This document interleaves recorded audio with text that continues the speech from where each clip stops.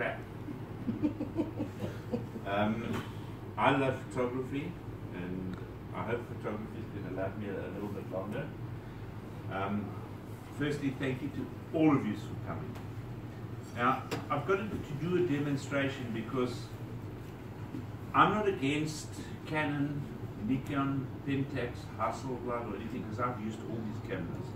I absolutely love these cameras. Why do I collect them? But, but what happened is a guy by the name of Steve Sasson, who was employed by Kodak, developed the digital sensor. He bankrupted his own company because they had no faith in what they were selling. They went from 98,000 staff down to 11,800, which they presently have. They got resurrected by selling their souls and their patents to the Japanese companies they didn't believe that their own invention would make money. What actually happened is all the four companies grabbed their cameras and said, we've got a, we've got a camera, we're going to slap a sensor in the back instead of film, and we're going to make a digital camera. There's a funny little corporation in Japan called Olympus. I don't know how many of you know that they are the largest manufacturer in the world medical equipment. They have a 70% share worldwide, but they're actually known as a camera company. They have utilized their technology, their micro technology and everything to make cameras smaller.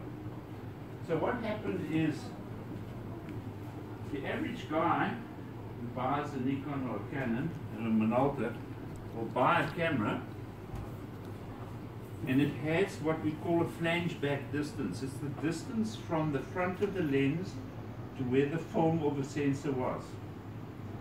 That distance dictates how big your lens is going to be.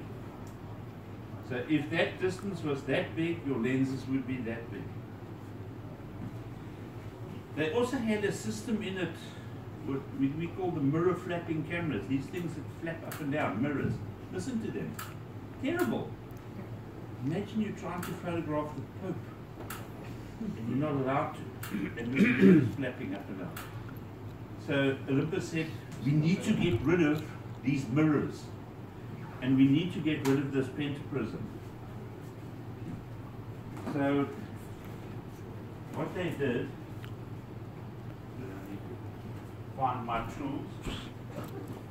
And I'm sorry, I, am going to have to change my glasses for this because it is such a dangerous operation. I've, I've, had these glasses Dr. Fleming, by the way. manufactured. They've got high tensile glass in it. And, and the first thing we, we're going to want to do is I said, guys, let's get rid of the, the mirror. Who wants the mirror? And the mirror. that was the first step. Then the next step, they said, well, why do we want a pentaprism?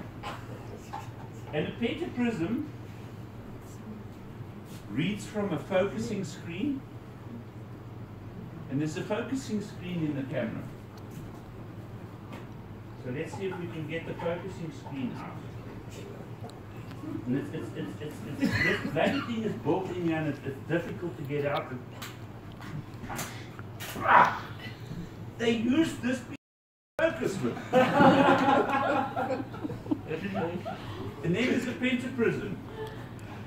Okay, I can't destroy a pentaprism. This is one of the most beautiful pentaprisms that's ever been produced by Nikon. And incidentally, I do love Nikon cameras, I always have. So they said, let's take the pentaprism off. By doing that, they managed to reduce the flange back distance from the front there to the sensor to that, which allowed them to take a 600 millimeter lens that Canon and Nikon produced that are that big down to a little thing that big.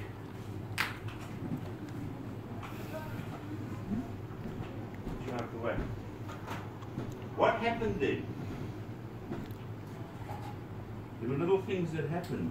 There were little things that happened. They said the death of the mirror camera. And this camera to bed. and the death of the mirror flapping camera. I'm taking the camera home. And the new life is mirrorless. Thank you very much.